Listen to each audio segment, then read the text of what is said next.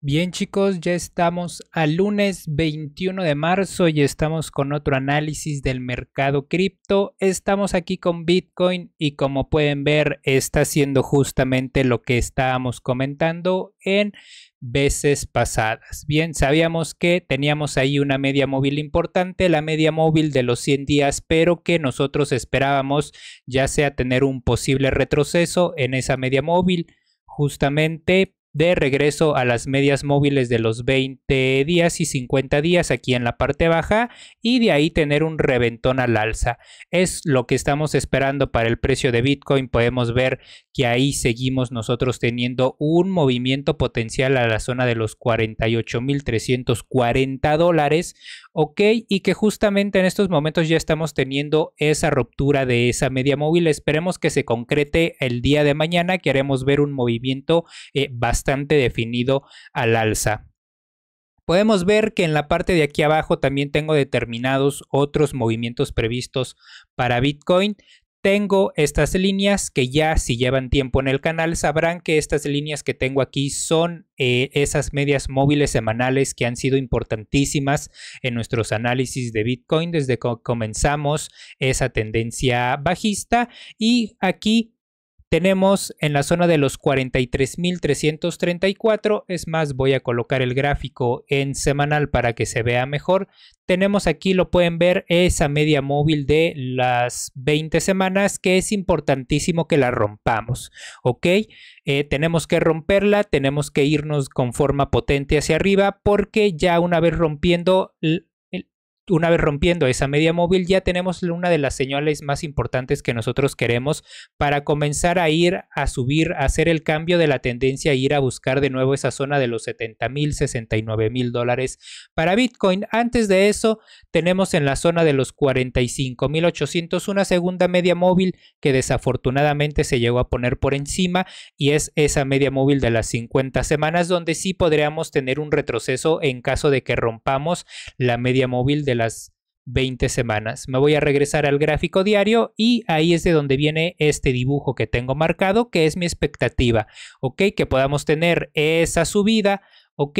A la media móvil de las 50 semanas, reventando completamente la media móvil de las 20 semanas. Una vez que rompamos esta media móvil de los 100 de los 100 días, lo más seguro es que reventemos también la media móvil de las 50 semanas, pero encontremos un poco de resistencia al llegar a esa última media semanal que tenemos por encima. Ok, podamos tener un retroceso para continuar con nuestro movimiento eh, potencial a la zona de 48.276 dólares. Ok, este es un segundo movimiento que podríamos tener. Al final el precio es el que va a hacer lo que se le venga en gana y podríamos llegar de un solo golpe a la zona de los 48.304.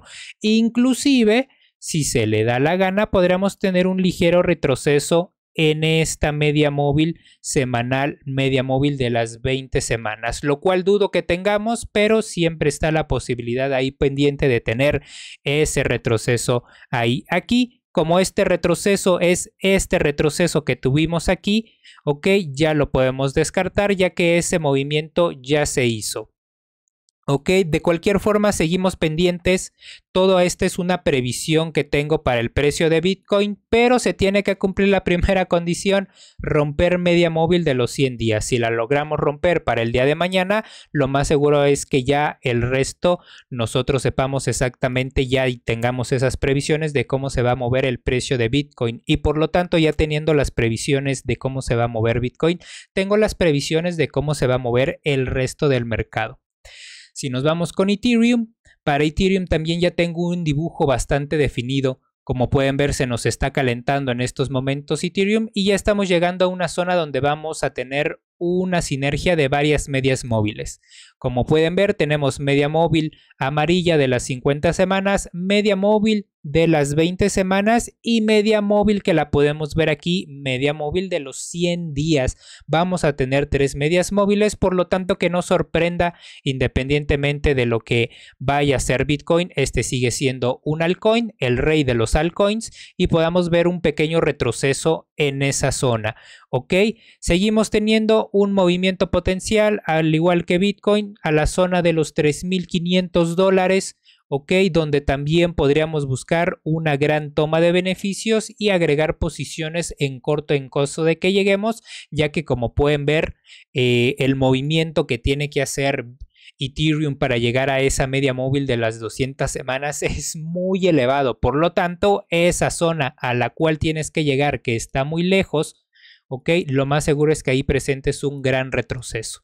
Ok, entonces Ethereum ya se está acercando a una zona interesante. Vamos a ver cómo se comporta. Recuerden que al final el que manda es Bitcoin. Y si Bitcoin decide reventar con mucha potencia al alza, bueno, esperen quizás ese movimiento de un golpe a la zona de los 3500 para Ethereum. Si nos vamos con ADA, ADA ya está llegando a una de nuestras primeras zonas donde teníamos que tener cuidado porque históricamente ADA ha tenido un poquito de debilidad al pasar esa media móvil de los 50 días y podemos tener ahí un pequeño retroceso que se puede dar o no se puede dar movimiento secundario. Movimiento primario sigue siendo un movimiento a la zona del el dólar con 10 centavos, donde tenemos la media móvil de, las, de los 100 días. Ahí tenemos esa media móvil. Ahí podría llegar el precio de Ada Cardano en la circunstancia, en la hipotética. Eh, eh, el hipotético momento en el que Bitcoin decida tener esa ruptura potente hacia el alza, bueno, esperen que también las altcoins tengan movimientos muy violentos al alza. En este caso, Cardano ya se nos puede ir para allá arriba bastante fácil sin ningún problema. Seguimos al pendiente de un posible retroceso y ver si podemos reventar esta media móvil de los 50 días parada. Como sea, ya tienen un análisis completo que se hizo hace dos días para ADA. Nada ha cambiado ya que justamente ese análisis es una previsión de lo que haga ADA hasta que lleguemos a la zona del dólar con 10 centavos. Si nos vamos con Binance Coin, tenemos que Binance Coin, bueno, tiene un poquito un movimiento, incluso pueden ver aquí ya tengo marcado un posible retroceso. El movimiento es muy parecido al de Ethereum. Tenemos media móvil ahí de los 100 días, ¿ok? Entonces esa media móvil de los 100 días que tenemos ahí, mucho cuidadito, nada más tenemos dos medias móviles semanales en esa zona y tenemos altas probabilidades de retroceso y esas probabilidades de retroceso aumentan cuando el recorrido que tienes que hacer hacia esa zona es muy elevado. Ok, si tuviéramos un recorrido más chiquito, quizás un movimiento más pequeño que el precio ya se encontrar en la zona de los 417 en esta zona aproximadamente que el precio ya se encontrará ahí y que tiene un movimiento aquí, bueno, yo puedo decir, bueno, sin ningún problema me puede reventar a la zona de los 467 dólares. Pero como nos encontramos muy alejados de esa zona, hay que tener en cuenta un posible eh, movimiento secundario de retroceso en esa zona, ¿ok? Como sea, tenemos aún así en caso de una locura que pueda ocurrir en el mercado, tenemos un movimiento ahí arriba a la zona de los 468 dólares. Saben que yo llevo Binance Coin a largo plazo simplemente porque es un activo espectacular que debería de estar en la cartera a largo plazo, a corto plazo para trading y para todo de cualquier inversor.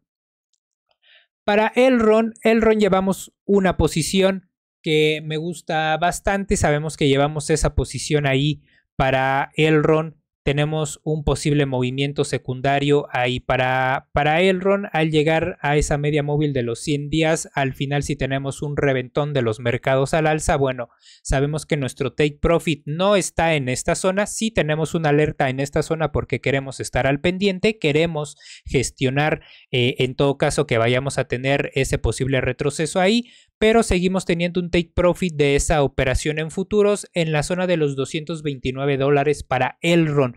Ok, recuerden que vean históricamente Elron suele tener reventones bastante fuertes, inclusive eh, bastante inesperados en el precio. Entonces, que no sorprenda que podamos dar un tirón potente a la zona de los 230 dólares. Para compras a largo plazo, gente, las compras a largo plazo ya se hicieron. Si me voy al gráfico semanal, vemos que venimos comprando desde que caímos a en la zona de 256, de que caímos en la zona de 181, ok, venimos haciendo compras a largo plazo para Elrond, de momento llevamos puras operaciones de trading porque compras a largo plazo, bueno, nos vamos a pensar en descargar cuando lleguemos de nuevo a máximos históricos. Por eso son compras a largo plazo. De momento las operaciones de trading tenemos estas zonas donde podemos buscar esa toma de beneficios. Si nos vamos con Phantom, Phantom también llevamos una operación que se agregó justamente en la zona del dólar con 7 aproximadamente se añadió esa posición.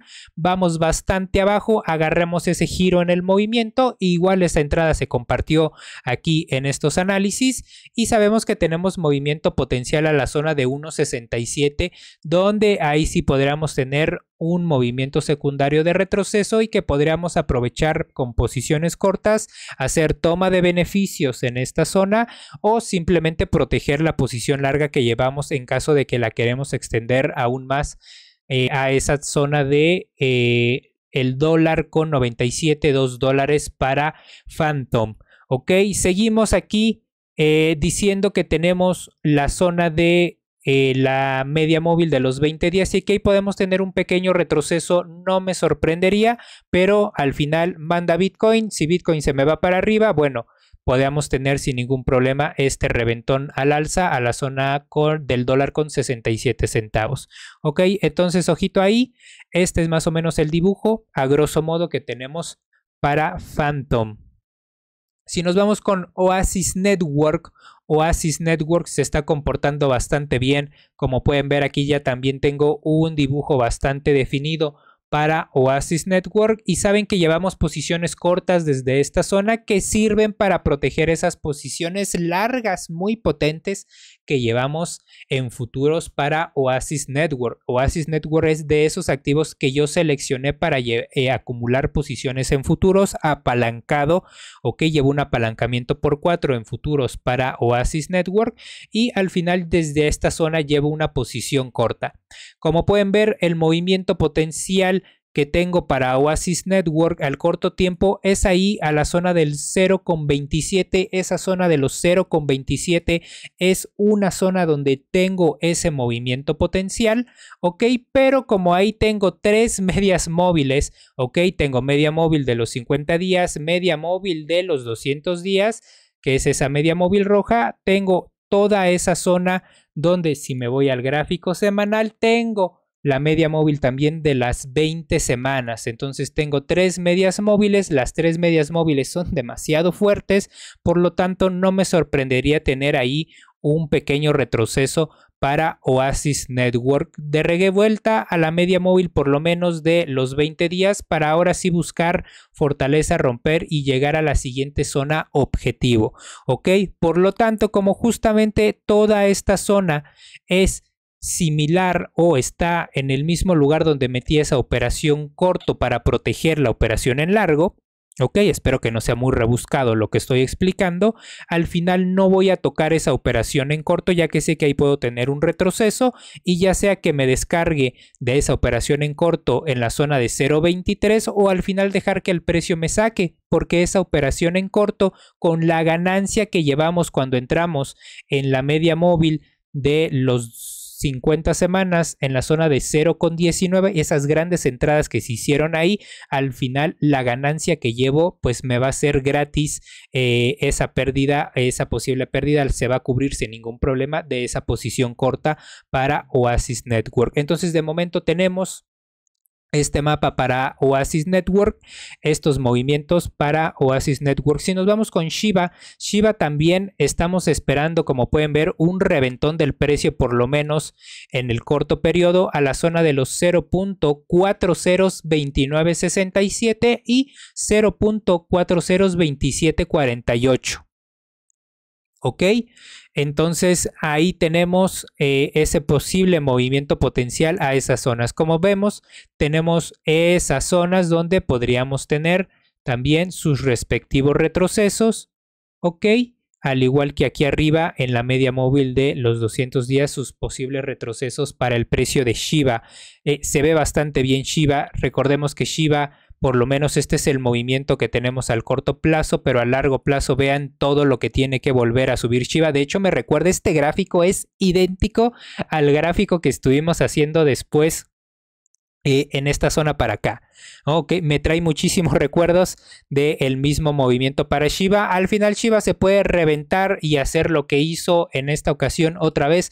Nada se lo prohíbe y podemos ir a buscar de nuevo esos máximos históricos para Shiba. Como pueden ver, inclusive si tú quieres entrar en Shiba a largo plazo, sigues entrando en la parte baja de un posible movimiento espectacular al alza para Shiba. Por lo tanto, que si quieres comprar Shiba ahí a ciegas, nada más porque sí, pues la verdad que sigues estando en parte baja del movimiento, una parte donde se compra, no donde se vende. Entonces, bastante bien para Shiba. La verdad es que vamos a ver cómo se comporta si al final esas eh, promesas del metaverso terminan tirando para arriba a Shiba, pero históricamente ha demostrado callar muchas bocas, así que no nos sorprenda que venga a hacerlo por una segunda ocasión.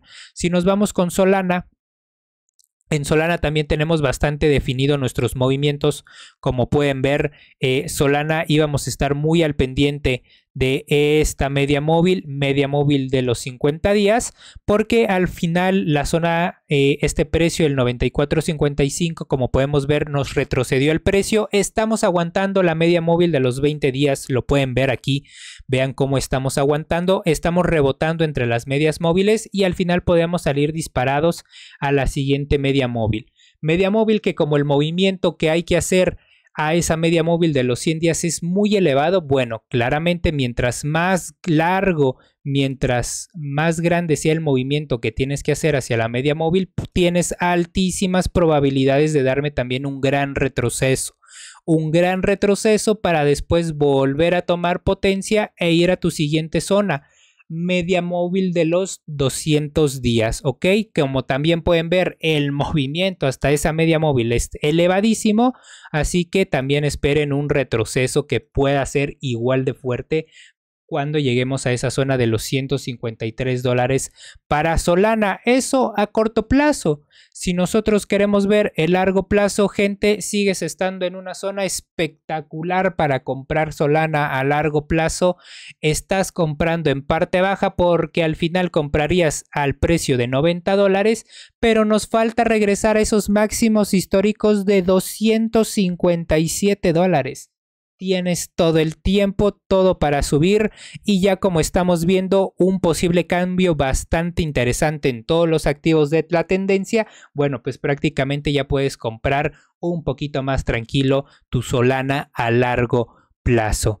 Y bien chicos, nada más les quería mencionar, llevo en Atlas una posición larga que se añadió ahí en Atlas y quiero buscar eh, esa zona de ahí que tenemos esa media móvil de los 50 días y la media móvil de los 100 días ahí, ¿ok? Quiero ver si podemos llegar a esas medias móviles para sacar esa eh, entrada en largo que llevo en futuros en Atlas. Recuerden que los futuros de Atlas eh, se encuentran únicamente en la plataforma de FTX, tanto de la plataforma de Bybit como la plataforma de FTX. En la descripción tienen unos enlaces de referido por si los quieren utilizar. Al final esa entrada que hice de, trading está prácticamente aquí en la misma zona en la que entré.